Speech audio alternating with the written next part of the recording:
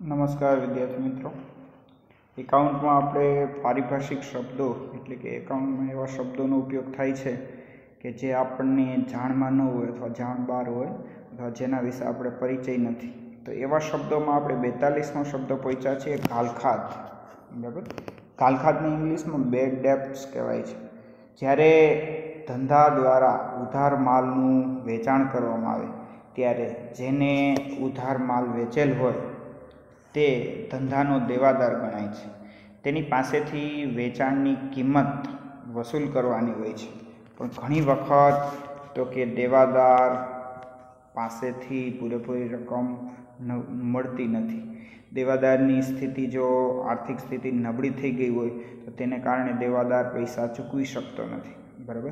ધંધાના નિર્ધારિત પ્રયત્નો કર્યા પછી પણ જો કુલ રકમમાંથી અમુક રકમ છે એ વસૂલી શકાતી નથી. બરાબર? તો તમે જેટલી રકમ વસૂલી ન શકો, તો એને ઘાલખાદ કહેવાય છે. બરાબર? ઘાલખાદ છે એ ધંધાનો ખર્ચ નથી, પણ ધંધાનું નુકસાન છે. ખર્ચ કોને કહેવાય? મજૂરી છે, પગાર છે એ ખર્ચ કહેવાય. અને નુકસાન એટલે ધંધામાં જે ખોટ સહન કરવી પડે એ નુકસાન કહેવાય. બરાબર છે? તો ઘાલખાદ એટલે તો કે દેવાદાર જે રકમ ચૂકવી નથી શકતો, એ રકમને ઘાલખાદ કહેવાય છે. બરાબર? અને દેવાદાર જો સમગ્ર રકમ ન ચૂકવી શકે, તો દેવાદારને નાદાર કહેવાય છે. નાદાર જાહેર થયો કહેવાય, બરાબર? દાખલા તરીકે તમે કોઈ વ્યક્તિને દસ હજારનો માલ ઉધાર આપ્યો, બરાબર? દસ હજારનો માલ ઉધાર આપ્યો અને માલના જે દસ હજાર છે એ એક મહિના પછી આપીશ એમ કીધું હોય, પણ એક મહિના પછી તો તમને આઠ હજાર જ આપી શકે.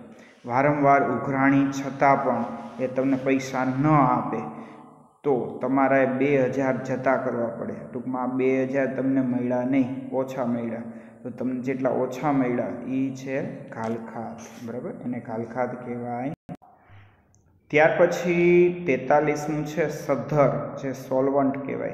જે વ્યક્તિ પોતાની નાણાકીય જવાબદારી એટલે કે નિયમિતપણે ચૂકવતો હોય જેની મિલકતો તેની જવાબદારી કરતાં વધારે, તે વ્યક્તિને હિસાબી પદ્ધતિની ભાષામાં સદ્ધર વ્યક્તિ કહેવાય છે. ટૂંકમાં જે વ્યક્તિ પોતાના ખર્ચા ચૂકવી શકે છે, જે વ્યક્તિ પોતાની જવાબદારી, એટલે કે પોતે જે લીધેલા નાણાં છે એ પૂરેપૂરા ચૂકવી શકે, તો એને સદ્ધર કહેવાય. સદ્ધર વ્યક્તિ. સદ્ધર વ્યક્તિ એટલે પૈસે ટકે. ટૂંકમાં એને પૈસા જે જેની પાસેથી લીધા છે, ઉછીના, ઉધારીના કે કાંઈ વેપારી હિસાબ બાકી હોય, તો એ ચૂકતે કરી શકતો હોય. તો એને સદ્ધર વ્યક્તિ કહેવાય છે.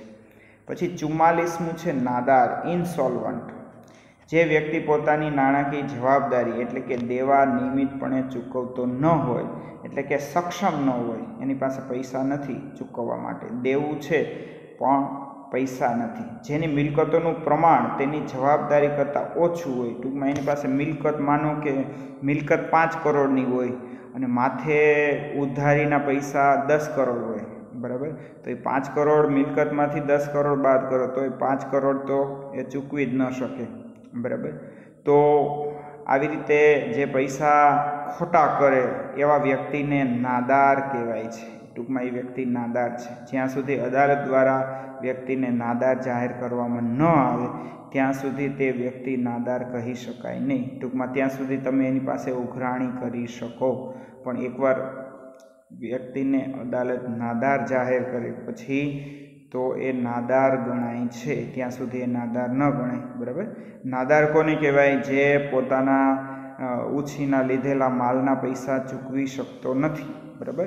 જે તમારા પૈસા નીકળતા હોય, પણ એ પૈસા એ ભરી ન શકતો હોય, તો એને નાદાર કહેવાય, બરાબર છે? ત્યાર પછી પિસ્તાલીસમું છે ઉધાર અને જમા, ડેબિટ એન્ડ ક્રેડિટ, બરાબર? હિસાબી પદ્ધતિના પાયાના બે શબ્દો છે. દ્વિનોંધી નામા પદ્ધતિમાં દરેક વ્યવહારની બેવડી અસર આપવામાં આવે છે. ઉધાર અને જમા. ઉધાર જમાની સાચી અને ખરી સમજૂતી હિસાબી પદ્ધતિની સાચી અને ખરી સમજૂતી છે. કયું ખાતું ઉધાર થાય કયું જમા થાય, બરાબર? એ ખ્યાલ હોવો જોઈએ. હિસાબી પદ્ધતિમાં બે બાજુઓનો ઉપયોગ થાય છે, ડાબી બાજુ અને જમણી બાજુ. તો આ ડાબી બાજુ છે એ ઉધાર બાજુ તરીકે ઓળખવામાં આવે છે અને જમણી બાજુને જમા બાજુ તરીકે ઓળખવામાં આવે છે, બરાબર? આવી રીતે માનો. બરાબર?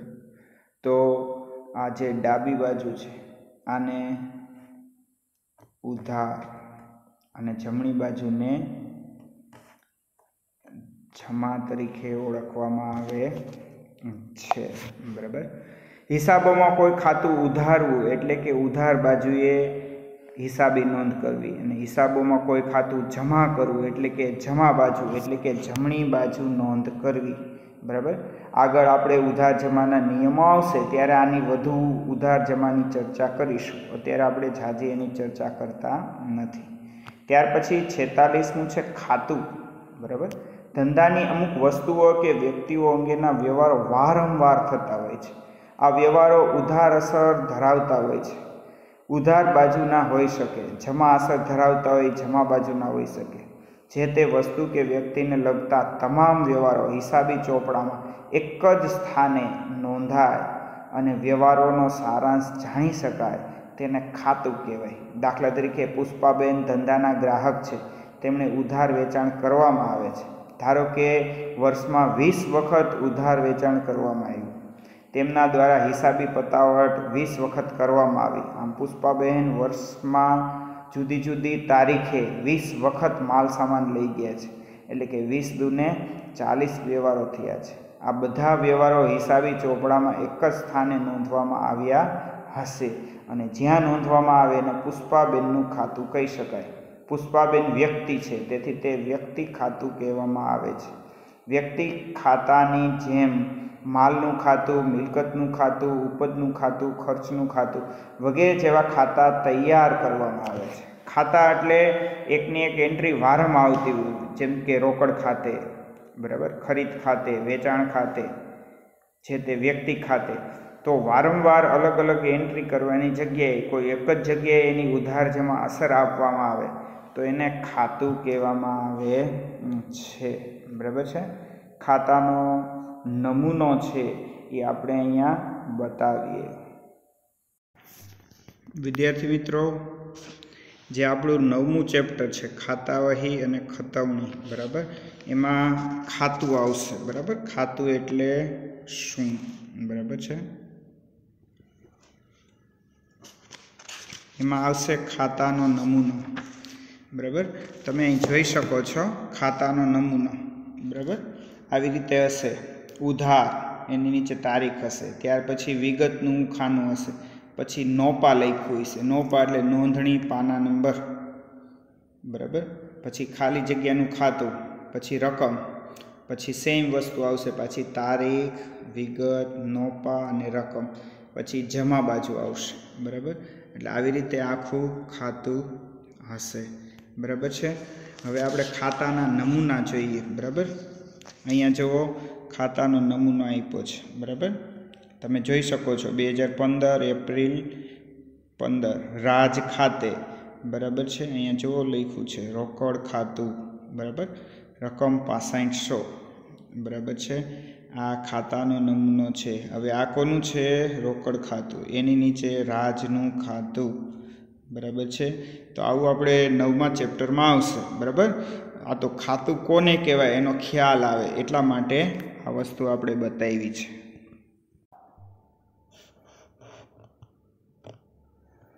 પારિભાષિક શબ્દોના અભ્યાસના વિષયને સમજવામાં સરળતા ઊભી કરે એટલા માટે આપણે પારિભાષિક શબ્દો વિશે વાત કરેલી છે, બરાબર?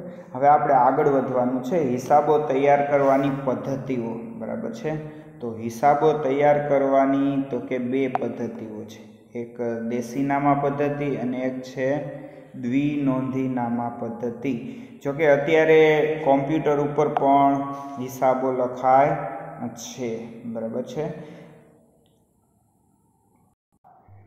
વિદ્યાર્થી મિત્રો, અહીંયા આપણને એક ચાર ટાઈપો છે. હિસાબો તૈયાર કરવાની પદ્ધતિ અને હિસાબી પદ્ધતિના આધારો. બરાબર છે? તો બે પદ્ધતિઓ છે. બરાબર છે? તમે જોઈ શકો છો, બે પદ્ધતિઓ આપણને આપેલી છે. એક દેશી નામા પદ્ધતિ અને એક દ્વિનોંધીનામા પદ્ધતિ. હવે દ્વિનોંધીનામા પદ્ધતિમાં તો કે ત્રણ આવે. વેપારી ધોરણે, રોકડના ધોરણે અને મિશ્ર ધોરણે. બરાબર છે? આ ત્રણ રીતે હિસાબો છે એ તૈયાર થાય છે. હિસાબો લખવાની આ પ્રાચીન પદ્ધતિ છે. કઈ? દેશી નામા પદ્ધતિ. સામાન્ય રીતે એકાકી વેપારી એટલે કે નાના વેપારીઓ ભાગીદારી પેઢીઓ દ્વારા આ પદ્ધતિનો ઉપયોગ કરવામાં આવે છે. ધીમે ધીમે આ પદ્ધતિનો ઉપયોગ ઘટતો જાય છે. આ પદ્ધતિમાં હિસાબો કેવી રીતે લખાય છે? કયા પ્રકારના હિસાબી ચોપડાઓ રાખવામાં આવે છે? આ અંગેની જાણકારી હવે આપણે આ પછીના પ્રકરણમાં મેળવીશું. પછી બીજી છે દ્વિનોંધી નામા પદ્ધતિ, ડબલ એન્ટ્રી સિસ્ટમ. બરાબર? દ્વિનોંધી નામા પદ્ધતિના જન્મદાતા તરીકે ઇતિહાસકારોના જણાવ્યા પ્રમાણે ઇટાલીના ગણિતશાસ્ત્રી લ્યુકા પેસીઓલીને શ્રેય આપવામાં આવે છે. દ્વિનોંધી નાવા પદ્ધતિની સમજ હિસાબી પદ્ધતિના ઉધાર જમાના નિયમો ઉપર આધારિત છે. ઉધાર જમાના નિયમો મુખ્યત્વે ત્રણ પ્રકારના છે, જે હવે પછીના પ્રકરણમાં આપણે વાત કરશું. આ નિયમો દ્વિનોંધી નામા પદ્ધતિના આધાર સ્તંભ છે. ટૂંકમાં એના ઉપરથી જ આખું એકાઉન્ટ લખાય છે. આ નિયમોની સાચી અને પૂર્ણ સમજ એ દ્વિનોંધી નામા પદ્ધતિની સાચી અને પૂર્ણ સમજ છે. દ્વિનોંધી નામા પદ્ધતિમાં દરેક વ્યવહારમાં કઈ બાબતની ઉધાર અસર થશે અને કઈ બાબતની જમા અસર થશે? તો તે અંગેનો સમાવેશ નિયમોમાં કરવામાં આવેલો છે. બરાબર? દ્વિનોંધી નામા પદ્ધતિમાં તો કે હિસાબો ત્રણ જુદી જુદી રીતે તૈયાર થાય છે. વેપારી ધોરણે, રોકડના ધોરણે અને મિશ્ર ધોરણે. પહેલાં વેપારી ધોરણેની વાત કરી. તો કે આ પદ્ધતિમાં જે હિસાબી વર્ષના હિસાબો તૈયાર કરવામાં આવતા હોય છે, તે જ હિસાબી વર્ષના તમામ વ્યવહારો નોંધવામાં આવે છે. તે જ હિસાબી વર્ષના વ્યવહારોમાં આવક, જાવક, જવાબદારી, મિલકતના વ્યવહારોનો સમાવેશ કરવામાં આવે છે. જે તે હિસાબી વર્ષની ઉપજ અને ખર્ચાઓ ધ્યાનમાં લેવામાં આવે છે. જેમાં ચાલુ વર્ષની મળવાની બાકી આવકો, ચાલુ વર્ષના ચૂકવવાના બાકી ખર્ચા વગેરેનો સમાવેશ થાય. ટૂંકમાં જે વર્ષના હિસાબ હોય, એ જ વર્ષના ખર્ચા અને આવક ધ્યાનમાં લેવાની છે. બરાબર છે? ત્યાર પછી તો કે રોકડના ધોરણે. આ પદ્ધતિમાં જે હિસાબી વર્ષના હિસાબો તૈયાર કરવામાં આવતા હોય, તે જ હિસાબી વર્ષના ફક્ત રોકડના જ વ્યવહાર લેવામાં આવે છે. ઉધાર વ્યવહાર લેવામાં આવતા નથી. તે જ હિસાબી વર્ષના વ્યવહારોમાં આવક, જાવક, જવાબદારી, મિલકતના વ્યવહાર. પણ જેમાં રોકડનો સમાવેશ થાય, એ વાજ વ્યવહાર નોંધાય એટલે એને રોકડના ધોરણે કહેવાય છે. બરાબર? ગયા વર્ષના આવતા રોકડના વ્યવહારો છે, એનો પણ સમાવેશ થાય. ત્રીજું છે મિશ્ર પદ્ધતિ. બરાબર છે? હાઇબ્રિડ મેથડ મિક્સ્ડ મેથડ આ પદ્ધતિને વેપારી ધોરણની સુધારેલી પદ્ધતિ તરીકે ઓળખવામાં આવે છે. આ પદ્ધતિએ વેપારી ધોરણ અને રોકડના ધોરણના મિશ્રણ તરીકે ઓળખવામાં આવે છે. આ પદ્ધતિ પ્રચલિત નથી. ભારતમાં કંપનીઓ સામાન્ય રીતે વેપારી ધોરણે પોતાના હિસાબો લખે છે. કોણ લખે છે? કંપનીઓ જ. હિસાબી ધોરણે, ધોરણ એક પ્રમાણે કંપનીઓ પોતાના વાર્ષિક અહેવાલમાં હિસાબી હિસાબો વેપારી ધોરણે બનાવ્યા છે તે અંગેનું પ્રમાણપત્ર આપે છે. આ પદ્ધતિ અંગેની જાણકારી માહિતી માટે આપવામાં આવેલ છે. આપણા કોર્સમાં નથી. પછી હિસાબો તૈયાર કરવાના તબક્કા, એટલે કે સ્ટેપ પહેલાં બરાબર છે? પહેલાં તો કે વાવચર બનાવવામાં આવે છે, બરાબર? વાવચર એટલે બિલ બનાવવામાં બિલ બની ગયા પછી વ્યવહારની ઓળખ થાય, કેવો વ્યવહાર છે? ઉધાર વ્યવહાર છે, જમા વ્યવહાર, રોકડ વ્યવહાર છે, બરાબર? કયા ખાતાનો માલ મિલકતનો છે, ઉપજ ખર્ચનો છે. એના પછી તો કે આમ નોંધ બને અને પેટા નોંધ બને. ત્યાર પછી તો કે એના ઉપરથી ખાતાવાહી અને ખતવણી તૈયાર થાય. ત્યાર પછી તો કે કાચું સરવૈયું અને હવાલા પડે. અને એના પછી ફાઇનલ હિસાબો એટલે કે વાર્ષિક હિસાબો તૈયાર થાય છે. બરાબર? વાર્ષિક હિસાબમાં તો કે ત્રણ વસ્તુ આવે. બરાબર છે? એક વેપાર ખાતું આવે, બીજું નફા નુકસાન ખાતું આવે અને ત્રીજું પાકું સરવૈયું આવે. હિસાબી પદ્ધતિ એ માનવે વિકસાવેલ વિજ્ઞાન છે. હિસાબી પદ્ધતિ વિજ્ઞાન હોવાથી તેના નિયમો છે. હિસાબી પદ્ધતિમાં હિસાબો તૈયાર કરવા અંગેની કામગીરી કરવામાં આવે છે. નિયમોના આધારે કામગીરી કરવામાં આવતી હોવાથી હિસાબો સચોટ હોય છે અને જુદા જુદા તબક્કામાં છે. બરાબર છે? તો આ તબક્કાઓની આપણે ફરીથી વાત કરશું. બરાબર? પ્રથમ તબક્કો છે વાઉચર વાઉચર એ ધંધાના વ્યવહારનો પ્રથમ તબક્કો અથવા વ્યવહાર થયાનો પુરાવો છે, લેખિત પુરાવો છે કે આ વ્યવહાર થયો છે. બરાબર? દસ હજારની ખરીદી કરી તો દસ હજારનું બિલ હોવું જોઈએ. લાઇટ બિલ ચૂકવ્યું તો લાઇટ બિલ ચૂકવેલું હોવું જોઈએ, એની રસીદ હોવી જોઈએ. બરાબર? બેંકમાં પૈસા ભર્યા તો બેંકની રિસિપ્ટ હોવી જોઈએ. એટલે આ બધાને વાઉચરમાં સમાવેશ થાય છે. ટૂંકમાં વ્યવહાર થયો છે એનો સાબિતી પુરાવો. બીજો તબક્કો છે વ્યવહારની ઓળખ. ધંધાનો વ્યવહાર આર્થિક છે કે બિનઆર્થિક રોકડ છે કે શાખનો? એટલે કે ઉધાર. એ વ્યવહાર નક્કી કરવામાં આવે છે. બરાબર? વ્યવહાર નક્કી થયા પછી ત્રીજો તબક્કો આવશે વ્યવહારની નોંધ. બરાબર? આ તબક્કામાં ધંધાના આર્થિક વ્યવહારને આમ નોંધ કે પેટા નોંધમાં નોંધવામાં આવે છે. આમ નોંધ એટલે તો કે જે સાદા વ્યવહારો છે, કાચી જે નોંધ છે ટાચણ ટિપ્પણ છે, એના ઉપરથી તો કે એકાઉન્ટના હિસાબોમાં નોંધવામાં આવે, જે પેલી પ્રાથમિક એન્ટ્રી છે, એને આમ નોંધ કહેવાય છે, અને પેટા નોંધ. પેટા નોંધ એટલે અલગ અલગ નોંધ હોય છે. ખરીદી માટે તો કે ખરીદ નોંધ હોય છે, વેચાણ માટે તો કે વેચાણ નોંધ હોય છે, જેને પેટા નોંધ કહેવામાં આવે છે. ચોથો તબક્કો છે, ખાતાવહીમાં ખતવણી. બરાબર છે? ખાતા વહીમાં ખતવણી એટલે તો કે આમ નોંધ અને પેટા નોંધમાં જે જે વ્યવહારો છે એને વર્ગીકૃત કરવાના. એટલે કે અલગ અલગ ખાતાના વ્યવહારો અલગ અલગ સ્થાને નોંધવા. જેમ કે રાજુભાઈનું ખાતું, રોકડ ખાતું, બેંક ખાતું, મજૂરી ખાતું. તો આ બધા ખાતામાં આમ નોંધમાં જે જે વ્યવહાર છે એ જે તે ખાતે નોંધ, નોંધવા એક સ્થાનેથી ઉપલબ્ધ થાય. ટૂંકમાં બધા જ વ્યવહારો એક જ જગ્યાએથી મળી રહે. તે અંગેની વ્યવસ્થા એટલે એને ખતવણી કહેવાય છે. આ ખતવણી ક્યાં કરવામાં આવે? તો કે ખાતાવહી નામના ચોપડામાં, જે લાલ કલરનો ખાતાવહી નામનો ચોપડો હોય તેમાં. પાંચમો તબક્કો અથવા પાંચમું સ્ટેપ છે કાચું સરવૈયું. કાચા સરવૈયામાં ચોથા તબક્કામાં દર્શાવેલ ખાતાઓની બાકી દર્શાવવામાં આવે છે. જે વાર્ષિક હિસાબ તૈયાર કરવા માટે પહેલો તબક્કો છે. ટૂંકમાં વર્ષના અંતે તો કે કોની પાસે કેટલા માગીએ છીએ પૈસા? કોણ આપણને પૈસા આપશે અને કોણ આપણી પાસેથી પૈસા લઈ જશે? તો એના માટેનું જે સર્વૈયું બનાવવામાં આવે અને જે બાકી કાઢવામાં આવે, આવી બાકીને ઉધાર બાકીને જમા બાકી કહેવામાં આવે છે. તો એક બાજુ ઉધાર બાકી લખવામાં આવે અને બીજી બાજુ જમા બાકી લખવામાં આવે. તો એને કાચું સરવૈયું કહેવાય છે. કાચા સરવૈયા તરીકે ઓળખાય છે, જે હિસાબીનો, ટૂંકમાં એકાઉન્ટિંગનો હિસાબી નોંધનો પાંચમો તબક્કો, પાંચમું સ્ટેપ છે, બરાબર? અને પછી છેલ્લો તબક્કો, એટલે કે લાસ્ટ સ્ટેપ તો કે વાર્ષિક હિસાબ છે, આખા વર્ષનો જેમાં હિસાબ કરવામાં આવે, એટલે કે વાર્ષિક હિસાબ.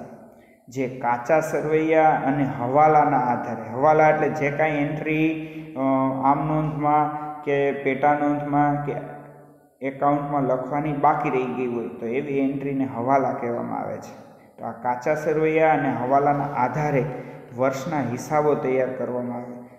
જેમાં વેપાર ખાતું, નફા નુકસાન ખાતું અને પાકા સરવૈયાનો સમાવેશ થાય છે. બરાબર? તો વાર્ષિક હિસાબમાં ત્રણ ખાતા બનાવવામાં આવે. વેપાર ખાતું, નફા નુકસાન ખાતું અને વાર્ષિક હિસાબ. જે પાકા સરવૈયા તરીકે સમાવેશ થાય. આ ઉપરાંત હિસાબો સાથે સંકળાયેલ અન્ય પાસાઓ, જેવા કે બેંક સિલક મેળ, ભૂલ સુધારણા નોંધ, ઘસારો, અનામતો અને જોગવાઈ વગેરેનો સાથે સાથે અભ્યાસ પણ કરવાનો હોય છે. બેંક સિલક મેળ. બેંક સિલક મેળ એટલે આપણે તો એ વ્યવહારો ઓછા થતા હોય, પણ જે પેઢી હોય, મોટી, મોટું કારખાનું કે મોટી કંપની હોય, તો એને ઘણા બધા વ્યવહાર થતા હોય. ઘણા બધા વ્યવહાર થતા હોય. તો બેંકની પાસબુકમાં ઘણીવાર ભૂલ થાય, ચૂક થાય, તો એને ચેક કરવી પડે. અને આમ બેંક સાથેના જે વ્યવહાર કરવામાં આવેલા છે, તો એવું જ બેંક જેવું જ ખાતું ચોપડામાં બનાવવામાં આવે. ટૂંકમાં એને બેંક સિલક મેળ કહેવાય છે. ટૂંકમાં બેંકમાં જે જે એન્ટ્રી થાય એ એમાં લખવામાં આવે, જેથી કરીને બેંક સાથેના હિસાબો ચોખ્ખા રહે. પછી ભૂલ સુધારણા નોંધ છે ઘણીવાર એકાઉન્ટમાં ખોટી એન્ટ્રી થઈ જતી હોય. તો આ ખોટી એન્ટ્રીને સુધારવી પડે, જેને ભૂલ સુધારણા નોંધ કહેવાય. ઘસારો. બરાબર? યંત્રો ઉપર, મિલકત ઉપર, તો કે ઘસારો ગણવામાં આવતો હોય છે. અમુક યંત્રો, અમુક મિલકત છે, અમુક સમય પછી નકામા થઈ જાય, ખરાબ થઈ જાય, ખોટવાઈ જાય, નુકસાન થાય. તો એના માટે ઘસારો ગણવો પડે. દાખલા તરીકે તમે બે કરોડનું એક યંત્ર લીધું છે. બરાબર? પાંચ વર્ષ પછી આ યંત્ર નકામું થઈ જાય તો અચાનક બે કરોડ ક્યાંથી કાઢવા? તો દર વર્ષે એના માટે તો કે ચાલીસ લાખ રૂપિયા અલગ રાખો, તો એ ઘસારો કહેવાય. બરાબર છે?